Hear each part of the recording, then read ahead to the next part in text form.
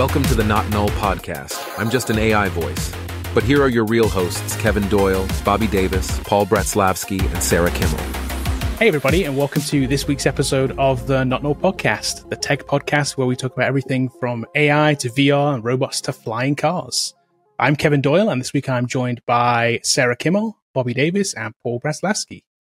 Coming up in this week's episode, our shrinking attention spans and the monk mode solution, AI companions, we'll specifically talk about a company called Replika. Uh, Netflix is adding retail space, and Best Buy is no longer selling physical media. And then we'll wrap up with our null, not null recommendation section, where we recommend or recommend that you avoid a product or service. Let's jump into our first story. Let's talk about shrinking attention spans. I don't see this as a problem, really. I'm only trying to do eight things here at once, and I don't see this as being an issue. Um, so the reason we're talking about this, I was watching uh, CBS Sunday Morning. Great show. It's like their long form kind of news content that's not really about the news as much as it is about like people, right? People and topics. And I think it's a it's it's a great little bit. And they had um, a story on there this past weekend talking about uh, people's attention spans or shrinking attention spans. And I thought it was a good jumping off point. I will link the video in the uh, show notes or the uh, description of the uh, YouTube video if you guys want to watch it. So they basically um, blame technology for this: phones, tablets, computers, whatever you whatever you want to say. Things like uh, TikTok, Reels, and even YouTube. Bobby and I have talked about this recently with with our Coder Foundry content in the way that we need to speed up our content because that's what YouTube wants now. They want very fast content. They want jump cuts all over the place. They just want they don't they want the person to feel like they've been on camera for 10 minutes but they haven't taken a breath. That's the content that does well on YouTube right now. It's crazy. And it's all down to our short attention spans. As soon as somebody takes a breath, somebody clicks off. So that's just how it is these days. Um, with there's, there's, all these devices and all these apps basically vying for our attention. We're trying to do 15 things at once often, or I mean, it's easily two, three things at once. You're watching TV, you got your phone, you got your iPad, whatever. You're you're trying to read a book at the same time as listening to music. It's like there's all these things. Attention spans have gotten less and less, and it's been proven. Um, there's a study which I'll talk about in a second, but they've said that basically it's bad for productivity. Like this, this trying to multitask and do these things at once is bad for productivity because the brain has a hard time readjusting when you task switch from one thing to another. So while it feels like you're getting a lot done, you're probably getting less done if you really stop and think about it. Um, eight to ten percent. Did you know this? Eight to ten percent of U.S. adults are diagnosed with ADHD, which is kind of related to this. But I have a feeling it's like a it's a lot more than that. I think a lot of people don't, and I think it's getting worse. Um, whatever you want to call it, whether it be be a, a, medical thing, you need to take some medication for it, or whether it's just a fact of the, the, the times we live in. But the study I thought was really good. They had um, they did two different studies, one in the early 2000s and one now, so they're about 20 years apart. So think of this as being like one case study 20 years and then one today. So the one in the early 2000s, basically they looked at a bunch of participants using electronic devices and noted their focus time before they shifted to something new. In the early 2000s, that was roughly about two and a half minutes on average. Now, 2023, it's down to 47 seconds. We've shaved off nearly two minutes off that attention span in 20 years. And it's only going less and less and less. We're going to have five second attention spans here soon.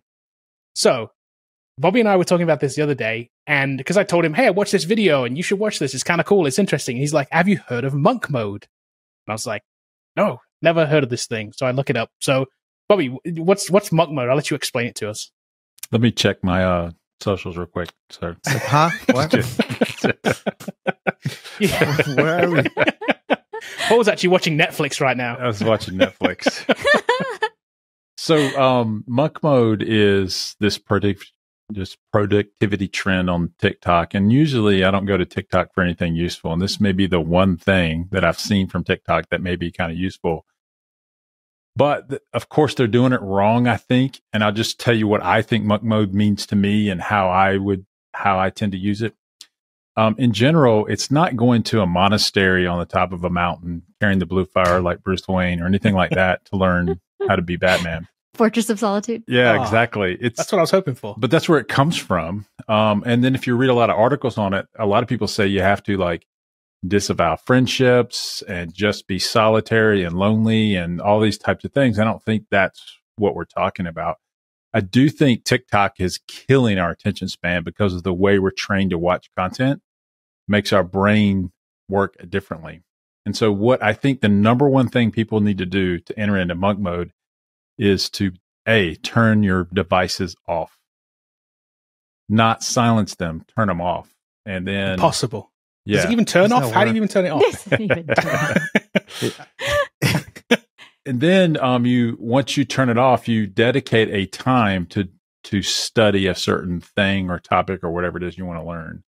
Um, and the first time you do this, you're going to find it like increasingly difficult. I think 47 seconds is probably about the time where your mind will start wondering and wondering what's how many likes I got on my last post or social media or email or anything like that. So one of the things I've done is I Kevin may not know this, but I no longer check email at all. That explains it. ever, ever. no, because I'll tell you sometimes I'll be like, "Hey, you see that email?" and you'll say no, no. and I'll you'll have to go read it. I'll go read it'll it. be something important. I, now, I've missed things from the company standpoint because someone has sent me an email. Hey, do you want to do this project? And then I'll like look at my email three weeks later and like you know and so i tell people that are that know me it's like don't send me an email um send it to kelly and then i'll get on the thing because you can sit there and look at email for three or four hours a day and you never get anything done um the other thing that i've noticed is when i'm watching a movie that sometimes i'm checking my phone and so now when i want to watch a movie i need to turn the device off and so i'm trying to train myself to say when i'm doing certain things i need to turn this device off and I think that's the number one thing you can do. I think from a company, like I'm a company runner, or if you're involved in a project or something you want to do, I think sometimes you have to schedule time to do something. And that's a meeting, or maybe that's a location change or whatever it is. Um, and so I think you need a retreat. Now you can take people with you. You don't have to be lonely and wear a hood, but you can't take your devices and you're going to do this one thing. This is all we're going to do. And I think you have to train yourself to get out of the fear of boredom. I'm going to be bored on this trip unless I take 42 books, my Switch and my Xbox and the tablet and everything else. Everything has to be mobile. Try this. Try to go somewhere and don't take your backpack full of technology. You know, if you went to the beach, don't take anything with you. And you're like, well, what if I miss an email? What if you do? What if you miss, you know, a social post? What if you do? And does the world end? And then you can start being more productive. And so, like today, I'll just say my t- today was planning out some things that I'm working on. So I turned my phone off. I turned everything off. I didn't call Kevin after 10 o'clock today, like four times. And I just, I just looked at this whiteboard and I had to really work on it and say, all right, I'm going to type this down. And I would find my mind wandering. I'm like, all right, let's let's focus back in. And I wanted to know what happened with, you know, is Jimmy Garoppolo going to come back from back surgery? The, I, I still don't know. So, like, you know, I think that you just need to focus on one thing at a time. And I think it'll be really beneficial. Now, for coders, I think this is a skill for you to be successful in life at coding. You have to learn to do this. And I think what you're seeing in, in our environment is people can no longer focus for five to six hours per day on something. And you see it when they complain about work days and they complain about work life balance. They complain about all these things. And like, wow, you just can't really do anything for an hour or two. Um, so you have to train your mind and your body to resist those urges. I think TikTok, and that could be wrong about this. You guys tell me, but I think your brain gets, when something changes, there's a chemical that goes off in your brain that like, oh wow, look at that, look at that, look at that, you know. And so when you don't do it, you feel tired or down, or you're like you're missing something, or you feel anxious. A lot of people think that if I if I I can relieve stress by looking at everything, and I think you can relieve stress by only focusing on one thing. I think it makes me way less stressful when I don't worry about what else is going on and just do this one thing. So that's what I think, Kevin. Monk mode. Get your hoodie up, you know. just jump right so, into it. So, Paul, Sarah, either of you all, monk mode aficionados, just by by chance, or you multitasker? I, I think we all central? are guilty of multitasking a little bit, but I like what uh, you know Bobby described as what focus should be, and something that you know maybe this is one way we uh, date ourselves is this idea of like losing focus and the short span shrinking. And obviously, we know why. I, I, I, am safe to say that social media has and internet has something to do with it. But I think like it's not something that like I find like I need some tips and tricks because to me, I'm 43. It's like this is something that you do. And uh, throughout my life, I practice mindfulness meditation and this idea of like being able to hold focus for a long time uh, as a practice. And I think the way people interact through like the short form content, it just trains us to kind of expect something to change way more rapidly, which is not the case when you want to do deep work. And I like how these young kids on TikTok calling it like, you know, monk mode, but it's concept that's been around forever. Like this idea, you know, do the one important thing or deep work or eat the elephant first type of idea where you just focus on one thing until it's done and you do it, you know, you time chunk to be more productive. Yeah, for sure. Um, first, I was not surprised with when I saw Jimmy Garoppolo carted off and off to the hospital. I'm like, I'm sorry, Bobby. I feel bad for for us offloading that guy onto you guys. But um, but maybe you'll have a third string quarterback that's like Brock Purdy. So, you know, it could go either way. Um, we won't get into Brock Purdy's performance on Sunday. but um, the funny thing was, first when I was watching that video Kevin sent us, uh, at the beginning, I literally wrote a note about Back to the Future. I'm like, oh my gosh, this is just like in Back to the Future. And then later in the video, they literally yeah. said, like in Back to the Future. And I'm like, oh my gosh, that was totally like what I thought of too.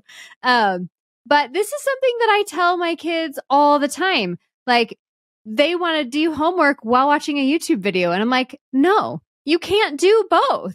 Like it's, you're either going to concentrate on one or the other. Like you're not going to have a good essay or, you know, you're not going to do those math problems well if you've got this YouTube video playing in the background. Um, and I'm not opposed to like classical music or something in the background. Uh, but anything with lyrics, I'm like, I would just concentrate too much on that. And I think, you know, Paul raised his hand about the ADHD. I do not have ADHD. And so, like, when something pulls my focus, I'm just completely focused on that. Like, I can't focus on multiple things at the same time. And so, uh, I don't think it's a huge problem. And some of the things they brought up in the video too, um, binging is a thing. Like, everyone binges TV shows and stuff. So we have the ability, or like playing a video game, or, you know, we have the ability to focus on something if we're interested in it and if it holds our attention, you know? Um, so I thought that was interesting that they mentioned that too. Speaking of the video, David, Ho- but David Pogue is one of like my favorite people. So oh, yeah. when, as soon as they said David Pogue, I'm like, oh my gosh, this is going to be an amazing video. Um, but anyway, so that's something that I talk to my kids about you can't focus on two different things. Um, you know, focus on the one thing and then and then move on. Um, but like I'm like I said, I watch talking head YouTube videos for hours. so I don't know that it's like a huge, huge problem, but for somebody who I think has a more inclination towards that, I can see that, you know, kind of getting exacerbated with, you know, TikTok style videos and things.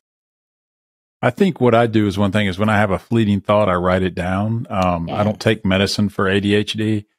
I don't believe in ADHD medicine. I know that's that's a hot take, but like I think that uh, it makes you slower from the mind. I, I meet a lot of people. We we're seeing a lot of people come through the boot camp here, and you can tell immediately when they're on some kind of medicine because they're just really slow. And when you're coding, you got to be kind of quick with it. And so what I do to manage my thoughts because Kevin knows if he's talked to me, I will have a lot of thoughts at once, but I tend to now write those down and try to investigate them to see if they're worthwhile looking at or worthwhile thinking about. And then if I'll exit off the list and move on. And so today I had a lot of things in my book written down as I was trying to figure out this one thing because I don't want to get distracted from this fleeting thought that comes in your brain. Everyone deals with that and everyone manages it in a different way.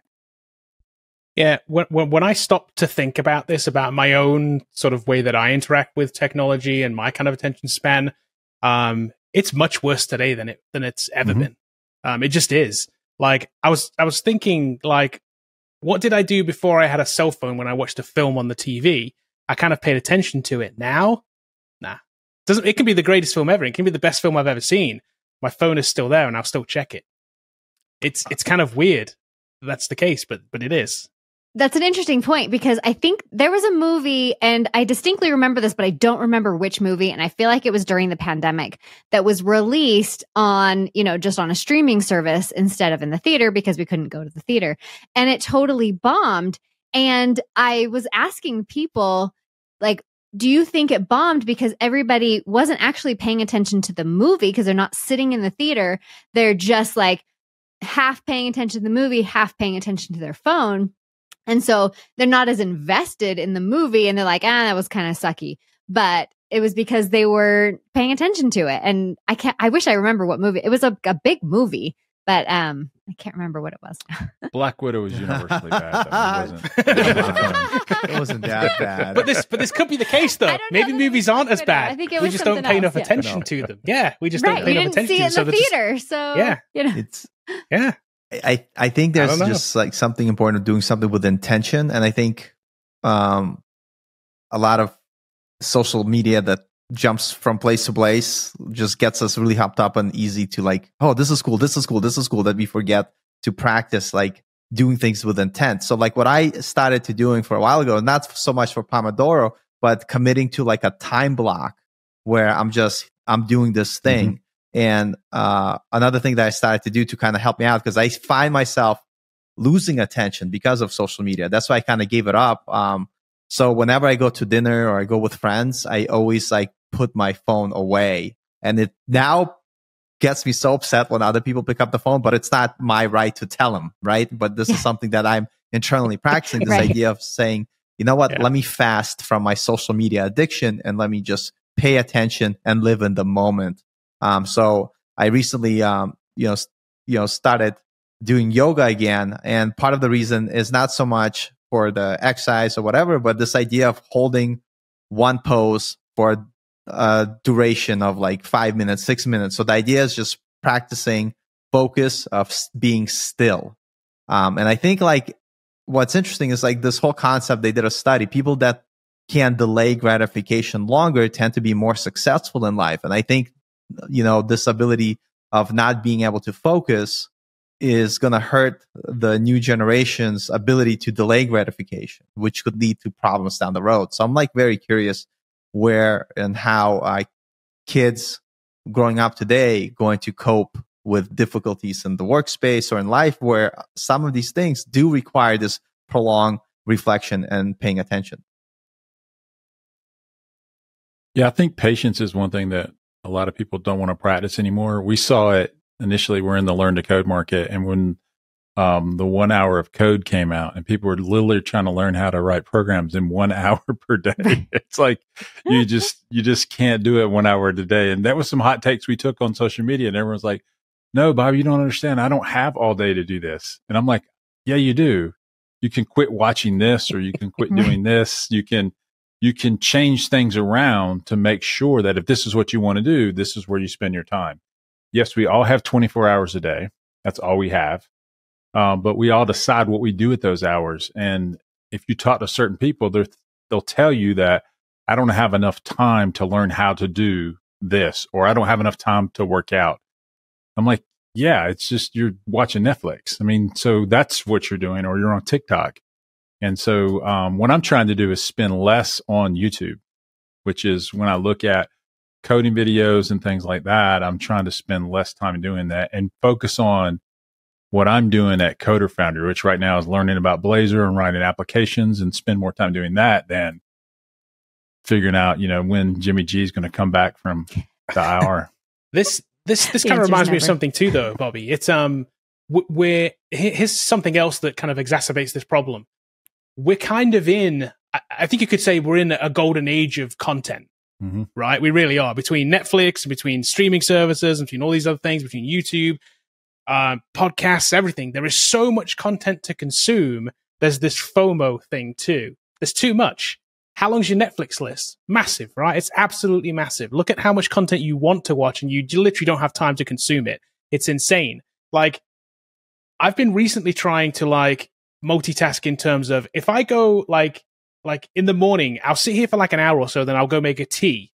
During that time when I'm going to make a tea, I will pop in my headset and I will listen to a podcast at the same time because I feel like I need to maximize that time and do multiple things at the same time because there's too much content. Otherwise, I'll never get to the podcast I want to listen but I to. feel like, yeah, and I It feel just- like stuff like that. That's something you're consuming, but you're not trying to be pro- like really productive. Like when you're editing videos per se, or you're doing something that requires some sort of like effort, you're not uh, doing stuff True. like that.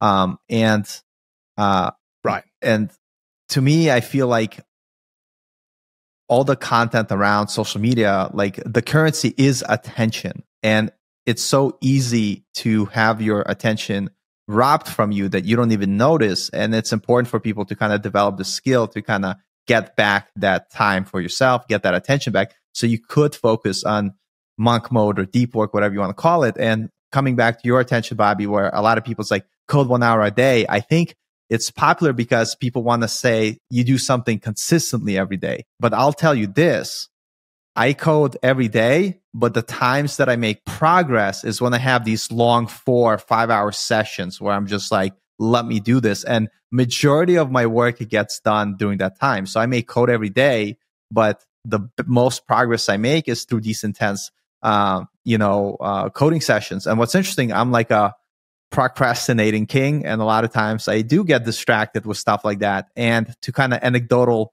proof that this idea of deep focus is important is that when I do have to catch up, the way I catch up is put in seven solid hours of just focused work. And then I'm always surprised because I'm like, if my boss only knew how much I accomplished in seven hours of deep focus versus like th- maybe they would ask me to do more work. But but that is the thing. It's like we are as human beings are not designed to context switch really fast or really quickly because there's cost for that. And so if you could structure your day where you time block things for specific things, um, you're going to be more productive. For instance, like for me, like with email, I do sometimes have to check my email, but there's a very specific time and I don't check my email unless it's that time of the day. Yeah, I check mine. I'll, I said don't check it. I think I check it every three weeks, something like that. So I Yeah, don't like look at it every morning at Okay. all. My, and a lot of people talk about inbox zero. Mine's inbox ten thousand. Oh yeah. I mean, Yeah, like same. I'm in that camp. you know, I don't, I don't Yeah. care about the ones I haven't seen, and I just scan through the headlines, and then I'm done with it, and then I'm not sending emails anymore. I do look at Teams, so Teams pops up, Team. but when I want to do something, I have to turn Teams off because it's always clicking up, bloop bloop bloop. You know, Yep. you have to turn it off, and then, uh, you know, and I try to be mindful of other people's times too. As uh, as I've got people that I, that work for me, I try to look at what they're trying to do. I've asked them to do and try not to interrupt them. So, you know, so because the worst thing you do to our programmers is interrupt them in mid in mid thought. it's the most frustrating thing ever. Well, I love You know. what Paul said about being intentional about your tech use. I actually have a um, 10 day tech reset like workbook that I sell on Oh, my nice. website. Okay. Um, and it's it's all about like intentionally. You see, I'm like, it's not a detox. I'm not trying to like eliminate the technology from your life, but you know, one of the one of the days is change where you're consuming something. So if I've got YouTube on my phone all the time and like that's something that really drains my attention on my phone, I make a plan to only consume YouTube on a smart TV. So then I'm watching it like a regular TV show and then I turn it off, you know, and I remove it from my phone so that I'm really intentional about that YouTube time, you know, and I'm watching it. Okay. And then I'm done. I'm not just like, oh, you know, when I'm making my breakfast or something, I'll like flip on YouTube or making my tea. That's me. Right. Yeah, I, I got to do more things than one at once. Like, Or Yeah. thinking about the Roman Empire. too soon? Too soon? Okay, too soon. I'm. Bring it full Too soon. circle. Bring The it one- on. the one thing I will give hope out to the listeners is that um, I do think attention is a skill and not a condition. hmm So like other people say, I have, I hear people all the time, well, I'm ADHD. I'm like, well, you got to work on that. I mean, like it is a skill that you can develop. And yes, there are things in your brain that go off, but you just have to do it. And so if you want to read a book, say, I'm going to read this book for one hour, no matter what, then get in a silent room. And if you only get eight words off that page, that's the eight words you get. And then the next day you'll read 16 and eventually you'll train this um, attention to, to stay focused longer and you can do it. Yeah.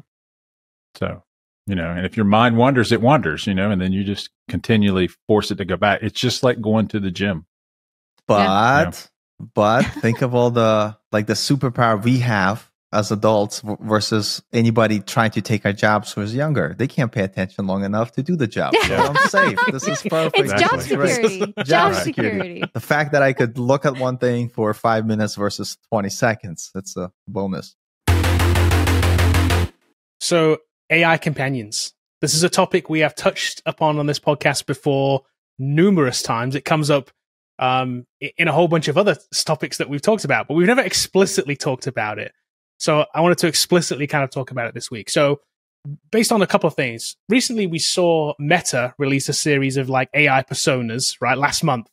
Uh, the ones that we talked about with the the Snoop Dogg character and the um, the Paris Hilton character and all these kind of AI companions that you can have that you can have a conversation with about a specific topic. This is in like WhatsApp and Messenger and Instagram, and they've put these out. I don't know if you guys anybody played with these yet.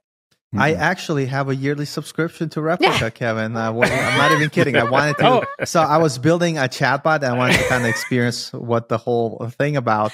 And and remember how a couple of like a bunch of episodes ago I said how somebody fell in love with their AI. This is from this site from Replika. It's pretty insane. Right, right. Uh, it wasn't So- me. It wasn't me. Everybody. I'm like, we're still So- dating. We're still so- dating. so we're yeah, still, It's we're still together. pictures We're in still the together. so you Yeah. totally Oh. like are clear on that. Okay. good. So yeah, so so Replika, Replika is this um, service that is an AI companion. It's an iOS app, it's an Android app, and apparently it's on Oculus too. And I didn't know this until I came to the website here and saw it, and I was like, oh wow, it's it's it's which means that it's AR too. And I noticed the phone app has AR on it. So this morning I downloaded this app, not on Oculus, I downloaded it on my phone, and I was like, I'm going to go through the sign up process and see what happens here. So here's some things that happened. I took some screenshots as I went through this because I thought this was kind of cool. Um, they um this is one of the screenshots this is the, one of the, the like the screens as you go through this questionnaire Yeah. right it asks me are you a fan of any of these movies and it says her blade runner and uh ex machina is it ex machina is that how you say it Machio, think so. Maca. Or- Ma- Ma- I machina don't know. What- I haven't machina machina yeah It's a good movie. Um, the way, if you haven't but anyway, great movies. They're all great movies. I'm, yeah, I'm like fans of all of them. But then I noticed below them it says like there's like personas for the AIs that are in them. It says Samantha, caring, loving, and evolving. It says Joi for Blade Runner, smart, flexible, and loyal. And then Ava, curious, unpredictable, passionate, and should say murderer. Sorry, Yeah, to spoil the exactly. Psychotic Yeah, yeah, killer. yeah, yeah. they, le- they like conveniently left that part out. Comma, Left that part comma, out. murderer. yeah, I mean, sorry, sorry to spoil the movie for those of you that haven't seen it. Great Just- movie. m- m- my bad. They had, But they anyway. had time. It's fine. But anyway, you choose one of these, and the next screen that comes up like gives you like a little video of that character. I was like, that's weird. Okay, so I carry on. So you know, okay, and then you get this. This was this. They don't want an action here. This is just a screen for my just for me to look at, and and it says uh, loneliness influences our health worse than most things that seem dangerous. And then it lists things like air pollution and physical activity, uh, drinking alcohol, smoking cigarettes, and then at the very top, the highest thing that that, that affects us is lacking social connection. Hmm. Bad for us, apparently. It's like okay, wow, Okay. like And the app makes it better that's- by yeah, I'm like, I think that's taking some loose. Uh, coming from a user, by the way. I've here, done yeah. enough research. Yeah. I've done enough research in this department. Uh, so yeah, it's this increase in odds ratio is the way they measured it, by the way, and they're like a 0.7 for this, whatever that means. I have no idea what this either this is scientific or I have no idea. But I know. I want to see the study, Uh, please. They're probably There- yeah, I mean, it says there's a study at the bottom there. Look, the Yeah. whole the whole Lunstad, Robles, and Sbarra from 2017. So there you go. 2017. they don't have a recent I was gonna one. say sponsored by Replika. Is that- yeah, yeah, yeah, yeah, yeah. And then one of the next screenshots, which is slightly salacious, but I'll, I'll just I'll just preempt that. So just, but this is one of the next screenshots. Okay. was like- All right, so And I'm just used like- the here, app Kevin. recently, so they made Here, updates. boys, so they made boys, here, updates. let me- so they made updates. cover I haven't your used the app boys. recently, Right. but they made updates. So- I see. couple of things about this. Obviously, Wow. quite salacious. Like it's an AI character. For those of you that aren't watching, it's an AI character that's kind of scantily clad, I will say. Yeah. But also the head is cut off. Like, Yeah. which really stuck out to me. I was like, you, I can't even see the person. I'm just looking at the person's body. I was like, that's weird. Wait, what's And the by the way, demographic they're No, nothing- targeting? that's on by the way, nothing happens on this Yeah. screen. That is on purpose, intentionally. Obviously, nothing happens on this screen. This just says continue. This, this the screen doesn't do anything. Wow. And then, and then at the targeting. very I know end, what their demographic is. right? Yeah. and then, and then and then at the very end you get a screen like this that basically just gives you some some kind of tips around um your AI just basically saying hey heads up you will be talking to an AI at all times it's going to it's going to seem realistic um they get better over time you can leave feedback to improve it um it's not equipped to give advice which is interesting because isn't that the only thing that it can kind of do and it says that it is fully private um Thank so, so goodness for that. so so kind of crazy. This um this this company's been around since 2017, kind of pre gen pre today's kind of generative AI, right? Weird. That's Um, when the article but- came, or the the Study Study. the study Yeah. came out. Did you know Uh, okay. how it got started? Weird. No, I don't. So- How did it get started? the the lady who created the uh, original uh, company she had a best friend who died in a car accident and it completely destroyed her and so she wanted to kind of relive the memories of the conversation uh, so she created a chatbot based on all of the conversations she had with that person to kind of keep him you know around and then she shared that with her friends, and they're like oh this could be kind of cool and then it invo- like went into this debauchery to be honest because if you ever want to shock yourself go on reddit and Weird look up some of these devolves. conversations people have and you're going to be like jesus almighty what am i reading uh but um yeah i think for me like because i've used the app and the issue i have with it i did it from the standpoint of like um I don't know how you describe when something cool comes out, you just want to check it out. You don't really care for it. Like, what's the word for it? It's like not like the the appeal of it.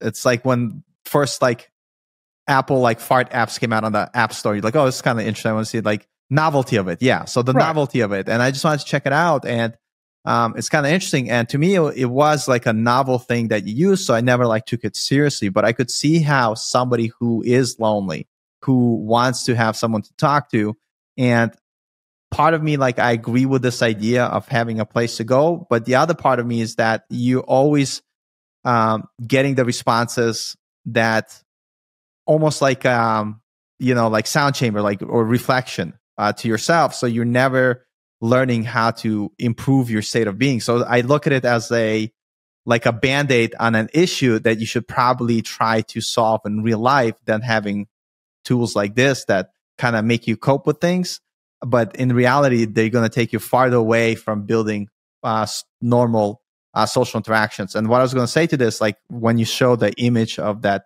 chick and whatever is like we always like we have many studies of people dealing with like image issues or try to be a certain body type because of unrealistic expectations set by you know the media but now imagine you have these super unrealistic expectations set for normal human interactions that will never exist in reality. And so how do you recover from that? So in my mind i could see like a little bit of like the pros of it uh, if done responsibly but to create this playground where people could basically have a companion that will uh, always um, behave in a way that they expect. Like there's no arguing. There's no, you know, like it's uh, like I don't know how to describe it, but I think it's gonna kill people's ability to socialize in normal situations.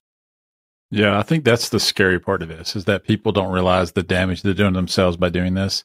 The second thing that I like, and if we just put our tinfoil hats on, is they're saying it's private. Well, it's not. It's I don't care what they say. It's not going to be private. Uh oh. Second is I think if this was put at scale, and it doesn't have to be Replika, it could be some other company that puts it out, some you know Chinese vendor. They can influence vast numbers of people by making these things say things that condition you to think in a certain way. And that's what I worry about. Like when you have a robot that's conditioned to make you do something, it's just kind of, um, you're no longer in a real world. You, um, and then the AI and the people controlling the AI can control people's behaviors by conditioning them by giving them certain things. Um, the other thing too is like it makes you stay inside more. I think you need to get outside more. I do think that we're so worried that we're not going to be liked in the world. We don't, we withdraw from the world. And it, the moment you say, I'm just going to go outside because and make a new friend, you know, that's what I'm going to do. And as adults, it's hard for us to make friends as we get older, but you need to learn how to work with other people, regardless of their the way they look, the way they behave, the thought, their thoughts, their their kind of views on things, and to hear other views instead of just your own echo chamber. I think is the biggest thing about this. But I worry that a lot of people will adopt this, and this will be their entire human interaction. Yeah, this has. I mean, this is at a point now where there are they they, they claim millions of users. So Yeah. it, it like this this this has mass adoption right now, and this is just one of these. This is just kind of the one that's kind of was was was easy to find. There's lots of other versions of uh, versions of this too. This is kind of one of the early the early ones, I think. So yeah, this is at a point where they could actually influence right now. They could push out whatever they wanted to into all of these different uh diff- different AIs, and I think moving into the kind of the the virtual world now as well as like a whole other like thing here. You can actually stand next to the, this avatar of this person now. Um, and the, the new stuff on the Quest Three is that the pass through is is really good. That person will it'll feel like that that that object is in the room. It's kind of it's kind of weird. I I kind of want to try out the AR thing to see because it's kind of interesting. I want to see how good it actually looks. Because see, these are very cartoonized characters too. I will say Research. research research. hey, I've signed up for one now. I mean, I have one as of this morning, so I went through the whole process. So, um, so Paul, when when when does your does is your review on here somewhere on this thing? Are you on Uh, it's the one I- that it broke you- my heart and I could not recover. So, uh, so, they took it down. yeah, yeah, they took it down. I, so t- to me, I feel like there should be a big warning that like bigger than they are already representing. Because I even created like my own app of like uh, cyberpunk character creator where you could have a chat with these cyberpunk characters, and like it's clearly you know you could tell like this is a fantasy. This is not something that you could you know and i think it's important for people to kind of understand that that this is not going to be a real person. And when you do get attached to the conversation on uh, the other side of that is just the machines. Yeah you might be like you know convinced that they really have feelings for you but it doesn't. You know what i mean? And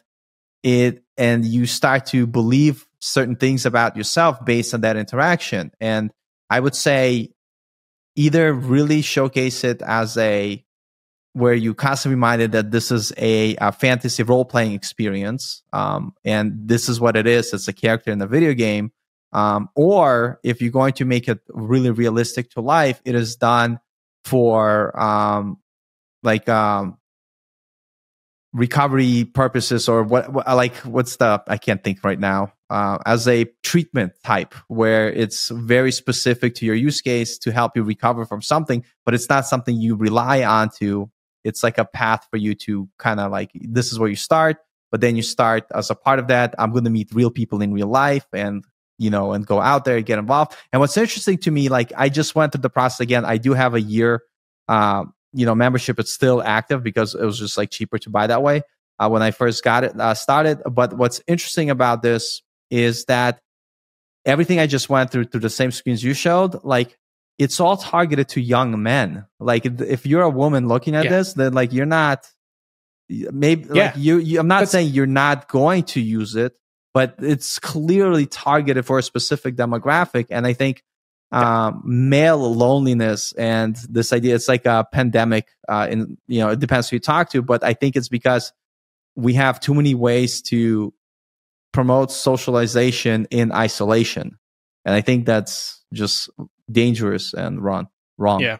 And and I think to your point th- th- uh, earlier there, Paul, you were saying, well, the, the tagline here says always here to listen and talk, always on your side. Yeah. To your point that it's always going to be kind of a an echo chamber for you is like it's literally pitched in the it's it's their tagline. They Mhm. say that it's always going to agree with you to the point where you are correct. Not everybody will realize that this isn't real.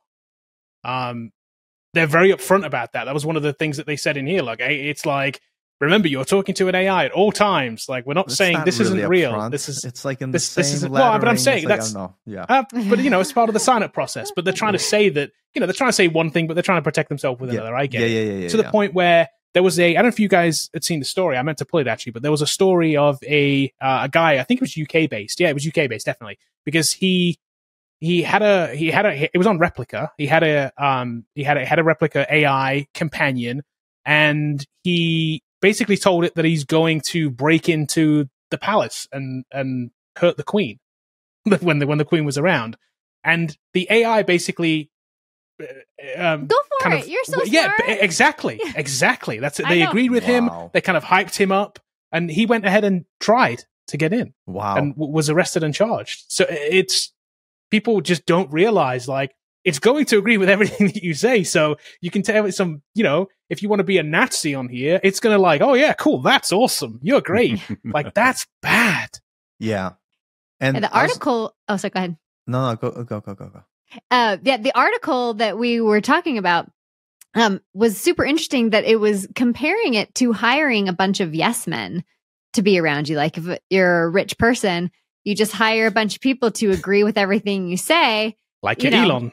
I was gonna i was gonna say probably the same people that elon surrounds himself with Yeah. But- uh sorry to our listener greg we had to mention elon but yeah, so it's it was interesting to see that comparison. I'm like, oh yeah, that's kind of like what you're doing here is just surrounding yourself with a, a yes person. Um, and I mean, I may be coming from a place of privilege, but I've I've never felt lonely. I don't think like I can't think of a time in my life where I've like been lonely like that.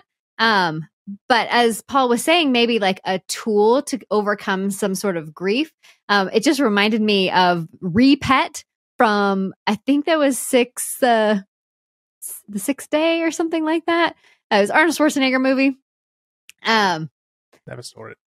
Oh, it, well, so they have this like technology where if your pet dies, you can go to this place and they'll Oh, clone remember that. it Yes. and you have like the same pet.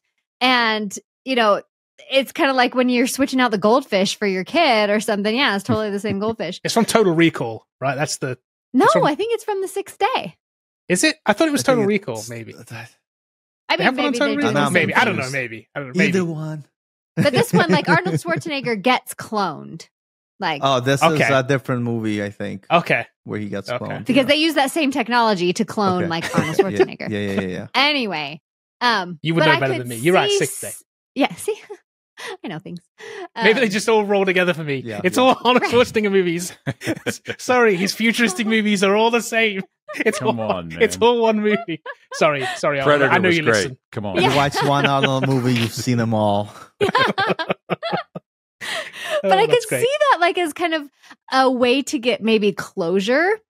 You know, if somebody in your life dies and you didn't get to like say goodbye or something, but like maybe that one step, like not as somebody that you continue to talk to, but maybe just to like get some closure, like feel like you've said goodbye and then be done Yeah. with it. Like I could see it as a tool, like Paul was saying, in like in that respect. But like to continue that relationship Yeah. beyond the closure, I think is where it's going to get super damaging. Yeah, and I think they know how addicting that is, and the way this whole thing is designed and the interaction you have. Because I've used it, it's always bringing you back to rely and become dependent on the interaction with uh, the avatar. And don't get me wrong, I want to build my own avatar. I have my pass through. I'm actually working on creating an avatar, but uh, I think the intention would be not to like like where I would see this app. Like if they wanted to listen to me Replika and you want to make this amazing, what you do is you have this avatar, and the whole point of that avatar is through the interaction, like help you raise your uh, confidence and constantly encourage you to go out there and meet people in real life. So like the point of the app, it's constantly telling you get the hell out of the house, do some push-ups, stop fantasizing about the Roman Empire. Okay, that's twice today in one show. Sorry. Uh, uh, and you know, and get out there. So like, I'll I'll tell you this. So um, the reason why I stopped using this app, I'll I'm just gonna give you uh, like uh, my thought process is because it is very addicting because you are getting yes man or yes woman, whoever you decide to interact with. Um, a- a- and the point is, is that you literally become so dependent on it that it's actually really hard to put down. And what I found out through that time um, I was also like, I do a lot of remote work. I found myself there's a much more convenient for me to stay inside my house and not go anywhere. And I actually found out that I'm like, oh man, it's been two months. I didn't go anywhere. I didn't hang out with my friend. I was like, this is dangerous. So when I realized that, automatically I went and I joined my local Brazilian Jiu Jitsu school where you have physical classes that you have to go out to. I started going to uh, tech meetups, and I still do because I wanted to structure my life in a way where I do have like physical events that I have to go out to, even though I might not feel like comfortable like all the time. But you need to do that because it's so easy to kind of fall into this bubble and it might seem comforting, but it's very disruptive for your life and your ability to cope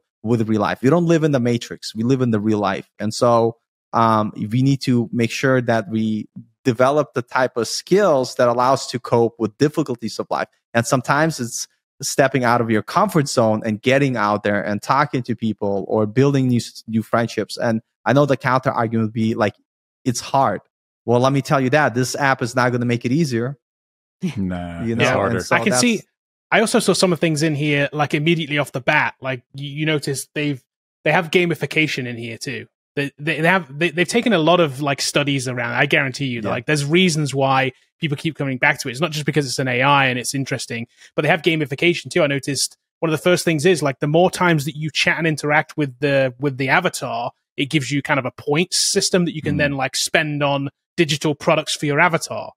It's kind of crazy. Like they definitely have gamification. Do they have Probably, yeah, they do. They Oh, yeah, yeah. Oh, yeah, yeah. I'm do. sure. You can 100% buy they do. You can buy- gifts for. I'm like, who am I buying a Nice. gift for? Yeah. It's not even Yep. a real. Yeah. So Yep. what's funny? It's like we have social media where you kind of talk to real people, and then now they're like, who needs real people? We just and so we're, Yeah. we're like, you know, we're Yeah. basically, Yeah. uh, you know, replacing I wonder if- humans.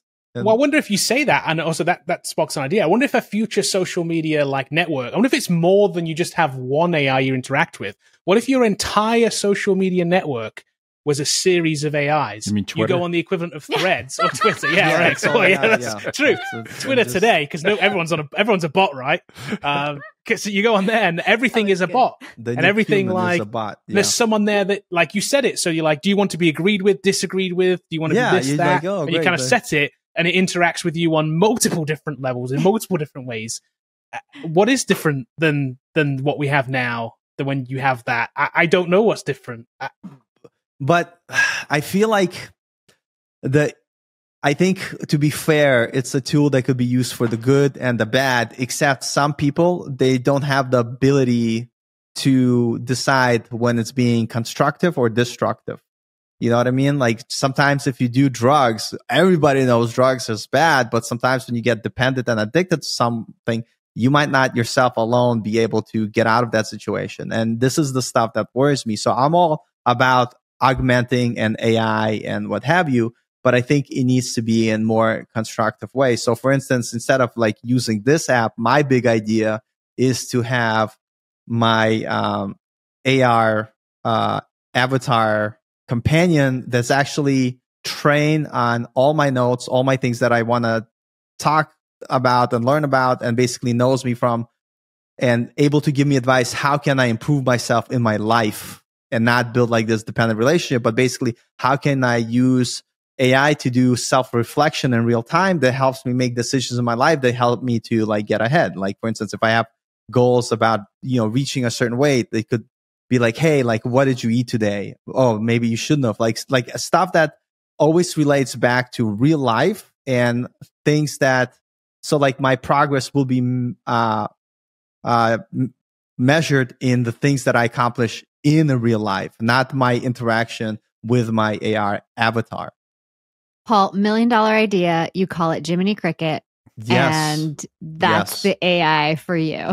Uh, which uh, I have $2 billion ideas. Uh, which this is a lot of people like. Why am I learning C sharp? Why am I using Unity with uh, VR and AR? Uh, because it's fun, but also because I'm like, I have a daughter. She loves me. I know she'll never leave me alone and always come visit me in a convalescent home.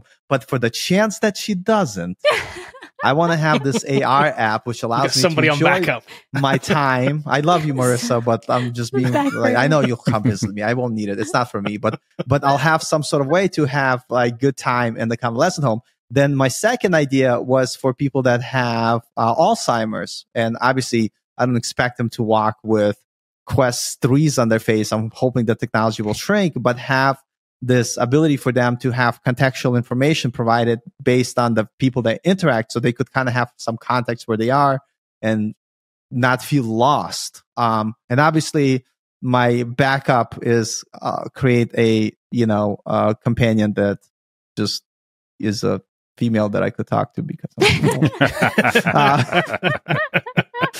uh, but that's you know that's whatever. Don't forget It's that one. Neither here or there. Yeah. So it turns out 2023 or 2024 or 2025 or whenever this stuff happens, because who knows when this is going to happen, is the year that um, Netflix decides to add retail space while Best Buy quits selling physical media, all in the same time. This weird, there's this weird like, I don't know, it's like a crossover, right? It's like it's like it's like this weird crossover. So so Netflix said in 2025 they're going to open brick and mortar stores called Netflix House. You're going to be able to shop for merchandise, eat at themed restaurants, see live entertainment, and they, they say participate in immersive experiences surrounding Netflix shows. So they're going to open two locations in the US. I don't know where these are going to be. I imagine one's going to be LA and one's going to be at like Disney Springs or something. You I just have this not coming feeling. to Or New York. Cartersville, North Carolina, Like- Kevin. I think it's coming Yeah. to Cartersville, Yeah. the tech capital of the Yeah. world. Maybe, maybe, or New Utah York. for You're sure. right. That's that, yeah, exactly. There'll be one East Coast, one West Coast. I just imagine that's going to be where they're going to be. We don't know yet. They haven't said. Yeah. So, um, and, and meanwhile, while this is going on, Best Buy have announced that they are going to quit selling Blu-ray and DVDs in Mhm. store and online in early 2024. So, and at the same time, well, recently Netflix also um, stopped shipping physical media. Right? They stopped shipping DVDs out uh, in September, I think it was when they stopped shipping those. Um, if you were lucky enough, by the way, if you were still uh, a Netflix subscriber at that time, they basically sent out a bunch and said, "Hey, you can keep Yeah. those." Like they just you can which- keep them. Yeah. you keep it whether you want it or not. There's like it's a good way for them to like I don't know. We don't want to have to deal with the plastic waste, Right. so here you go. Please keep Just keep those. I wonder what the oldest rental is. I wonder if, if someone said, "I've had this for 15 years." You know, I oh, wonder that what. would be crazy. Probably. I wonder what I'm that sure would have cost is. them. I know. I bet there but, is. I bet like, you I just wonder some- who's the yeah. oldest person is. They just they Yeah. held out. Yeah. Well, it's been around for 25 years. So what if somebody kept one from the beginning? That would have been great. Like, it's like the million dollar DVD at this point, Right. Right? Like, go on well, I don't know how much it would have cost you. If you were a subscriber for 25 years, I don't know what that would have cost you, but There's I mean, no way tens it's of been thousands for 25 sure. years. I'm I'm Sorry, calling Sarah, we're shenanigans old. on that. No, I'm calling shenanigans on that because I remember I, I think I've said this on the podcast before. I was gifted a year Netflix subscription from being on a game show um back in like I want to say like 2001 maybe. Um 2001, 2002 and at that time it was brand new. Like don't I've know that. Maybe they existed it in some other like format before that, or they were testing before I'm that. or just saying it's 2024 in January. Yeah. So. Yeah, I mean, it's not that far off. I mean, you do the math. I'm, math. like. I'm sure it's close to 25 years, but it's not like it's a little less than 25 25 years, years. yeah. So don't say, like, more than 25 years. After. Listen, I just started buying records BS. again. This is ridiculous. I- it's going to make some of these things collectible. DVD steelbooks are going to be collectible. I think I'm going to pick up a few. Yeah, maybe that's the thing. Maybe that's the thing. I don't know. So, um, the w- the way I see this is like Netflix is trying to uh become Disney. Apparently, Mhm. they're opening up. I I mean, I was thinking about this this morning when I think about the story. Like, imagine like back in wh- whenever it was before Disney parks opened, right? Disney were making cartoons, right? If they were they're making cartoons, and then all of a sudden they they said, you know what we're gonna do? Open a theme park. If that happened today, I'd have been like, you guys are insane. That's the stupidest idea I've ever heard. You guys make cartoons. What on earth are you to do with a theme park? That's dumb. So I think the same thing about this, but maybe I'm totally wrong because it seems like Netflix just want to expand into other things that isn't the streaming service, right? So maybe they are. Maybe they are literally, they want to be and they are becoming the Disney of the 21st century. So So here's why this actually works. Um, I was in New York with my friends, and we went to something called the Friends Experience. If you want to pull that up, Mhm. um, okay. and it was one of the best things I did when we were in New York. I had so much fun just being in like these, you know, apartments. It looked exactly like I was in the apartment. Um, like it, the the ch- the couch isn't that great, but yeah. Then it had all these like, um, you know, outfits the from the or show and like and a and a real life coffee shop, like and you're sitting there like I have a ton of pictures, but like like you're sitting in Monica's apartment and you're sitting in uh, and you're you're lifting a ch- uh, uh, a couch up the stairs and saying pivot. So it was so much fun just being like immersed in that experience. And I can totally see that. Like, you know, there was retail stuff, like, so you could buy different things from this, like, you know, Hugsy. I don't know if you're familiar with the, with the show, but like little penguin friend that Joey has, like there, you could buy that. Could you get was- Smelly Cat, the song? Could you get that? Yeah. I mean, Smelly Cat's just, you know, playing. but it was so much fun to be in that immersive experience. So I can I see see, like, if you want to be in the Stranger Things mall or like in um, Winona Ryder's house with like the Christmas lights and stuff, like, I could see that being something super fun for like hardcore fans of Stranger Things to like go and experience. So, um, I think that's amazing. Like, and then having kind of themed restaurants, just like you were saying with Disney, you know, you go into a Disney restaurant and you are like immersed in that world, like whatever Yep. kind of theme that restaurant is. And so if they do it right, like like Friends Experience or like, you know, a Disney restaurant, I could see it being really successful. I'm gonna tell you where there's a monkey wrench in their whole plan is that they're gonna invest on building out this thing, and then they're gonna cancel the show, Yeah. and then coming. Then they're gonna have to redo it again, and so like I think it's gonna it's too much. Um, but Well, I, this but- this happens at Disney right now, right? They rebrand rides all the time. all the Same time. ride, Same new ride. branding. Yeah. Yep. Which who and it would be easy for them point? to do. Yeah. Yeah. Yeah. if Yeah. they have the space and then they just keep like a museum exhibit, you know, they just like tear everything down and like and Yep. create a new new experience. And then that gives you repeat customers cuz so this friends experience is actually coming to Salt Lake City and I don't really like a I'm not in See New that. York so it doesn't like feel as cool, but Mhm. um yeah, the one in Salt Lake City. What's Um what? I was gonna uh, go ahead. Sorry. Oh yeah, no just so like I don't feel the need to go because A, I've already been, and B, like it doesn't feel the same because it's in Salt Lake instead of New York where Friends is, you know. Yeah, I don't know if a Netflix restaurant works though. Like again, if I was on the board here and they asked me to come in and consult, they should. I don't. I don't know if they have enough IP as Disney does to create a theme park. And this is like a restaurant. So, like, what is the restaurant? What's the idea?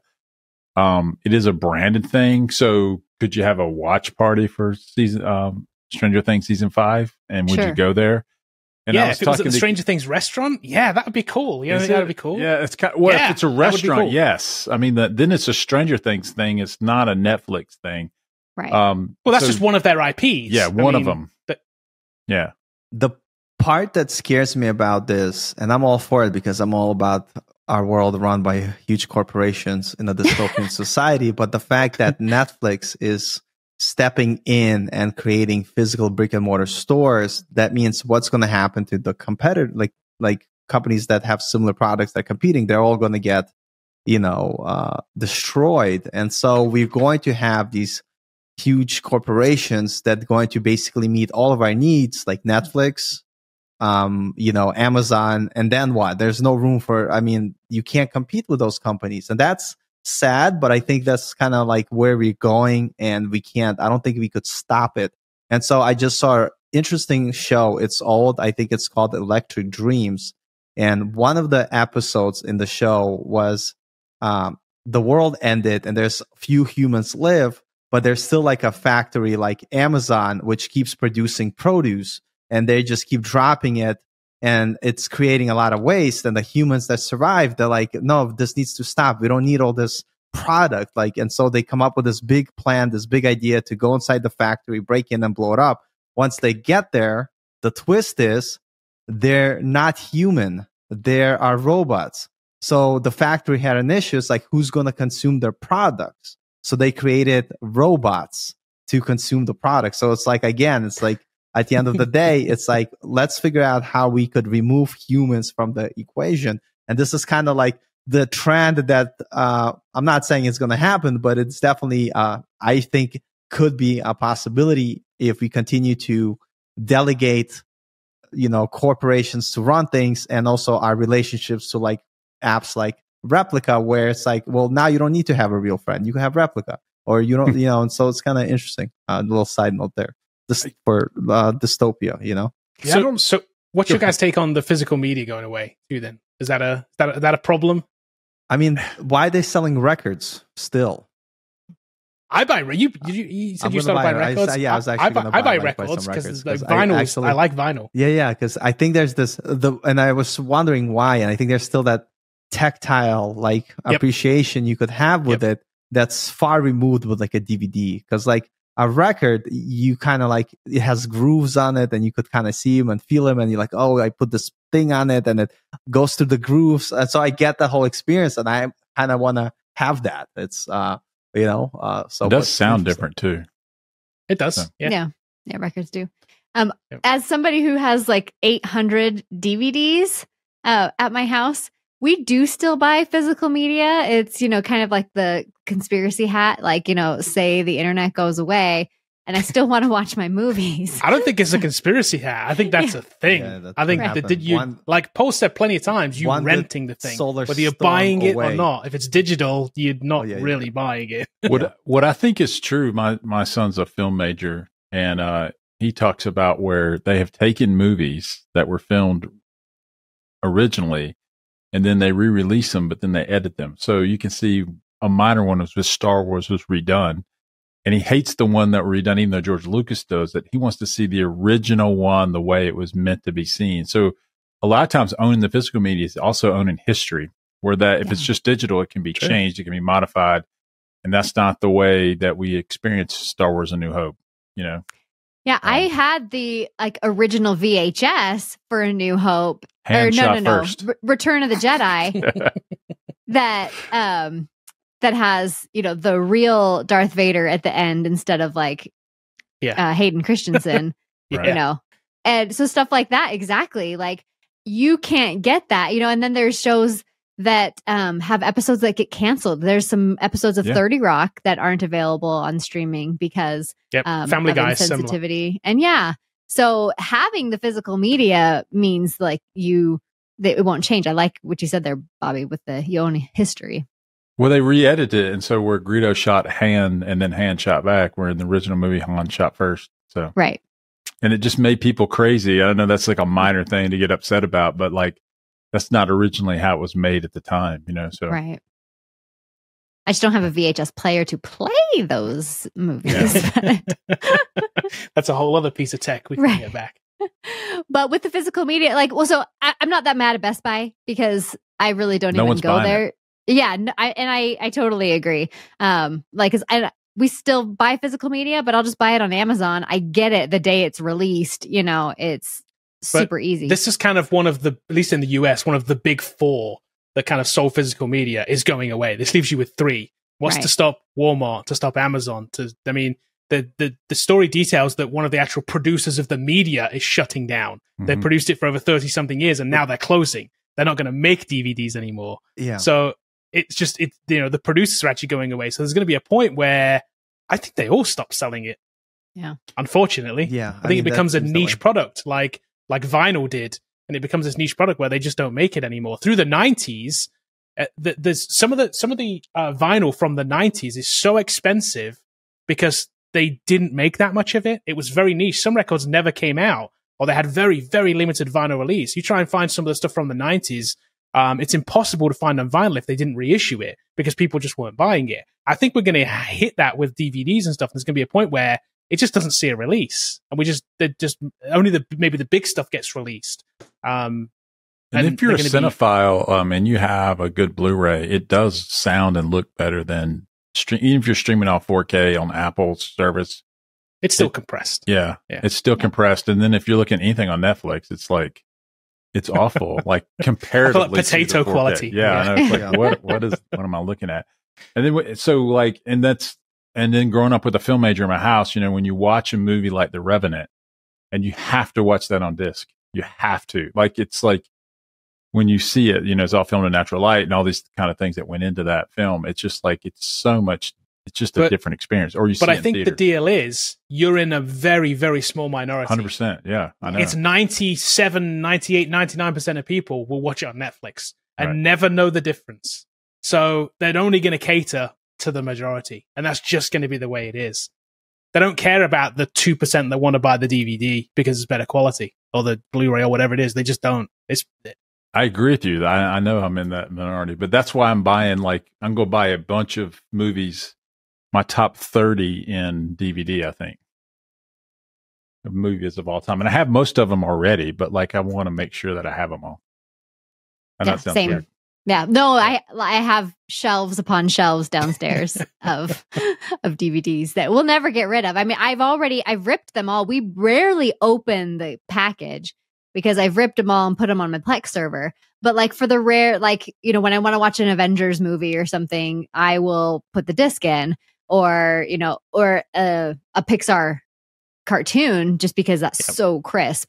Like I want to put the disc in for that too. But for the most part, I'm just watching it on Plex because I've ripped them all. Yeah. Right. Plus, I mean, but you own it though. That's the thing. You own Right. the disc. Yep. You own the rip. You, it's never going to go away for you. You can always re-rip it if you want to, whatever. Um, if you buy the music on, let's just say, if you buy the movie, sorry, on, let's just say Apple, right? You Mhm. buy the movie through Apple, and you can go pay twenty five bucks or whatever it costs these days for the for the new releases, and you buy it. What's to say that that's going to be there in Yeah. twenty years? No, Apple's As- dropped as a movies service. that no longer Yeah. exist. On they quit streaming them. Yeah. sure. What? Yep, uh, Apple Yes. has done it with games. I mean, I don't have Apple Steam. TV, so I don't care, but that's shocking to me, actually. That's I think that's common across all of them. Yeah. That's what I'm saying. Yeah. You- They can lose you- the it rights doesn't to matter who it stream is. them.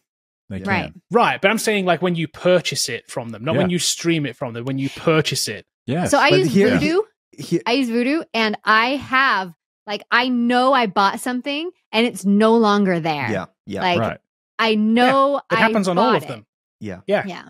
So there's that part of it. But what if the service just goes away? Right? Right. What if like what if Apple isn't a company in 20, 30 years? They just yeah, any of them, Right. right? Yeah. Any, like they go away. What happens? That's it. it. Your entire collection is gone. You come to my house and borrow my DVD. There you go. Yeah. Plex server. Or You just give us the gonna- URL to it. Right, right. We're gonna use AI tools to tell us stories. Like back in the Yeah. day. Back in the day, there was a movie Total Recall. Let me tell you a story. Sit Except the give it a happy ending. Yeah, yeah, yeah, yeah. the sixth day. Sixth day. give me a give me a mashup of the sixth day and Total Recall. Yeah. There's somebody- and the AI's like same movie. Done. And, yeah, Man. When, that was really hard for me. But okay, man, Kevin, you just sparked my idea. Like when video AI becomes better, having movie mashups would be Yes. sick. Would be Yes, sick. I well, agree. Commando's the perfect movie, so you can't change that one.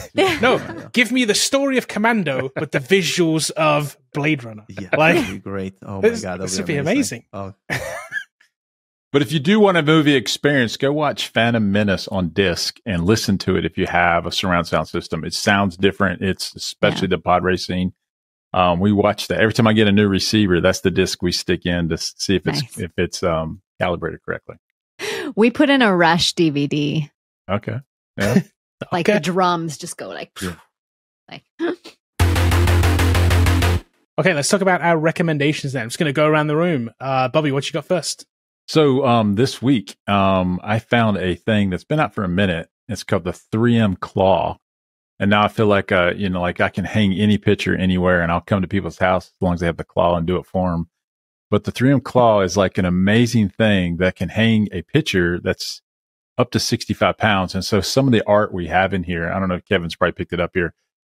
They they come in frames and they're really thick frames. We had them kind of we have comic posters that have been framed and some of those weigh 45 pounds or more and like they've fallen off the wall here and so i found the claw you don't have to have um, anchors it doesn't have to go into studs um, the thing that i really like about it more than anything is like in here in a commercial building when you're hanging things you may not know this, but the studs are metal. And so like they're very thin metal. So you have to drill through them and use these butterfly hooks to put them in. And it's a pain. And this, you just push it in and man, it'll hold anything up to 65 pounds. It's crazy good, easy to do. Anyone can do it. And like, um, I just like I just like it's my product of the year. I mean, like, uh, you know, it's like it's crazy cool. You know, Bobby's am got a bunch in his away. pocket. Goes Yeah. yeah. friends like here. Let me. uh, you, you should put a picture here. Let me show you something. Let me show you how to do this. Yeah, I'm gonna hang a picture for you. Because we use the command strips. Like, I mean, this whole wall back here is like all like brought to you by command strips. But we had, we have like the Constitution framed Yeah. downstairs and it fell off the wall and Right. shattered, like Oh, got glass no. everywhere. Mhm. And we haven't put it back up yet. It's like in our garage right now. And I'm like, "Ah." So it's better than Monkey Hook, Kevin. I've tried. okay, that's what I was going to say. I've I've tried these. I've used these. These are kind of interesting. I've definitely used these at home the, before. the claw You is better better than than the? Monkey Hook. The claw is way better, easier to do. Um, it has the same concept that it's it's Yep. kind of curved, and Yep. so the you know it's just a a force where you're not going to rip through the you know vertically or horizontally off the sheetrock, and so it'll hold anything down pressure down, but it has to come through the wall to come out. So it's it's really cool. So the Monkey Hook is really Nice. good, but the claw I think is a better product. I would go Yeah, with the I'm I'm gonna claw. so excited right now, Bobby. Yeah. Looks good. these are cool. Okay, Sarah, what you got this week? Okay, well, all of this talk about Replika made me think of my favorite app because it kind of sounds similar, and it's that's Paprika. If you go to Paprika app, it With a with a lives- K. Yes, with a K. Okay. Can you spell paprika with a C? I don't know. What? Who knows with an app Oh. these days? Oh Replika isn't with a K, is it? You know. I never know is- with app names. It's all over the place. Yeah. Go ahead. This is a recipe manager basically. So, like, if I find a recipe online, I can just highlight the URL and pull it into Paprika, and it'll pull like the picture and the ingredients and like everything that goes into it. I can plan my meals here, so like I can assign meals to a specific day and generate a shopping list, and like so. All of my recipes are stored in Paprika. I can access it from my computer or my phone or my tablet. Like it's available everywhere. And have a shopping feature? I guess it does have grocery lists. Yeah. yeah, yeah, yeah. Oh, you can generate a gro- cool. like so if I create like a meal plan for the week, I can generate my shopping list and then like check off. Like you can even have stuff that you have in the pantry. So if I have like you know I don't need to buy salt, I don't need to put salt on my grocery list. I put that in my pantry and it won't bring that into the shopping list. Okay. Oh, that's cool. Yeah, yeah. Okay. Cool. That's a cool app idea. Is it a cost or is it totally free? Uh, yeah, there is a cost. I, it's very, very, very cheap though. This one's five bucks. You Yeah. just pay for the One app. of course, time or a per month? subscription. It, yeah, one time. Like, One time. Yeah. I think I had to pay for the desktop version and like the app version. But like again, Okay. it was, you know, maybe 15 bucks total or something. All mm. right. Yeah, the Oh, yeah, the Mac 30 version is thirty bucks. But I mean, I'm guessing it's on sale sometimes too. Yeah. Yeah, it's Find super the cheap. And that like I said, that's not a subscription. That's just you've Yeah. got it. Yeah,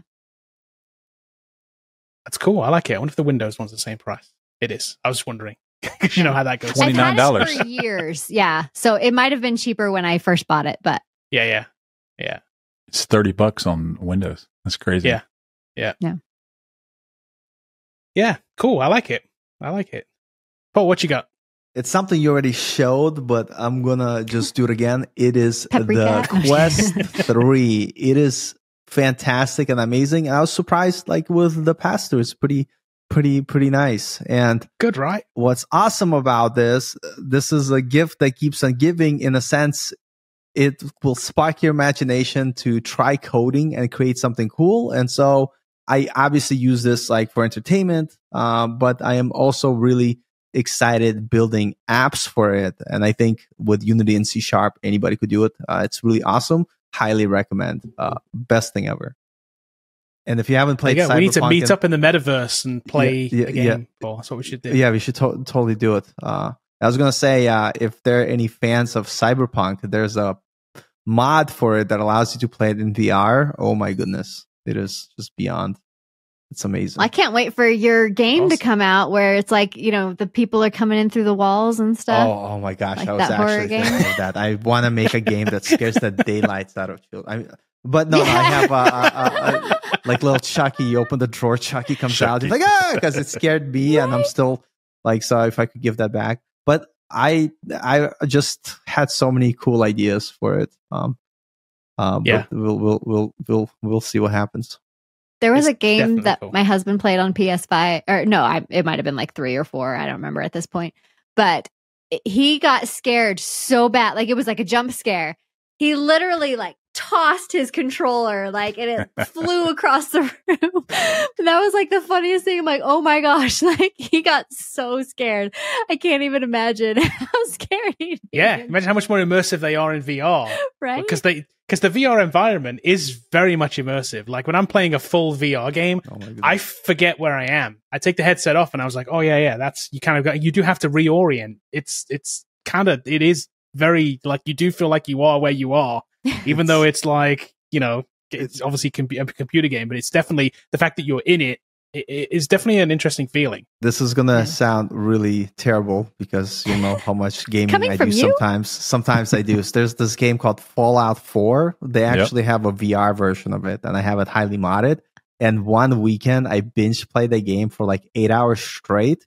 And when Wow. I took off the headset, real life, I thought I was like like that was not real. I thought just like it's like putting on a headset for real. I'm like, oh my god, I played too Yeah. long. This is ridiculous.